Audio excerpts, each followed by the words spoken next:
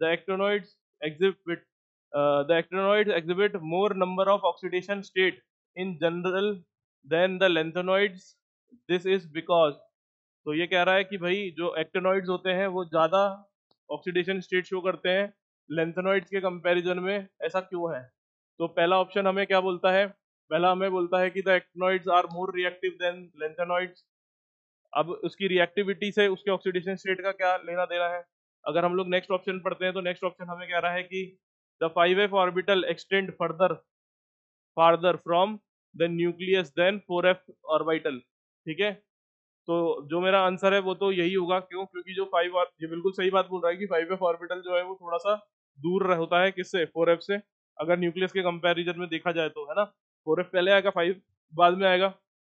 इसकी वजह से इलेक्ट्रॉन ज़्यादा निकल पाएँगे, है ना? डिफरेंट डिफरेंट ऑक्सीडेशन स्टेट ये शो कर पाएगा। इसके बाद हमारा सी वाला ऑप्शन जो कहता है, वो क्या कहता है? The five f orbital are more buried than ये तो गलत हो गया। नहीं मतलब ये तो बोल रहा है कि पास होगा। फाइव एफ़ पास नहीं होता है, क्या होता है? फोर एफ़ पास होता है, ठीक है? न्यूक्लियस से पास कौन सा होता है? फोर एफ़ फाइव एफ़ नहीं होता फाइव एफ़ दूर होता है। There is a between four and four f and five f in their angular part of the wave function अब ये वेव फ़ंक्शन से उसके ऑक्सीडेशन स्टेट का क्या ही लेना देना है, कुछ भी लेना देना नहीं है। तो मैं आप लोगों को बता देता हूँ, इसका आंसर जो होगा वो बी ऑप्शन होगा। बी ऑप्शन ही क्यों होगा? क्योंकि हमें पता है कि भाई फाइव एफ़ है वो थोड़ा सा डिस्टेंस पे रहेगा फोर एफ़ थोड़ा पहले रहेगा।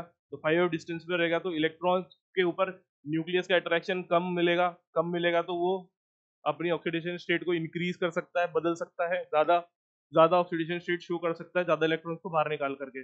फोर एफ़ को ये मौका कम मिलता है तो इसीलिए वो plus two, plus three, plus four तक ही शुरू कर पाते हैं, ठीक है? तो plus three and plus four जो होती है वो कॉमन रहती है, इसमें ज़्यादा रहती है, एक्टेनॉइड्स में। तो टीचर्स, आई होप आप लोगों को समझ में आ गई होगी मेरी बात।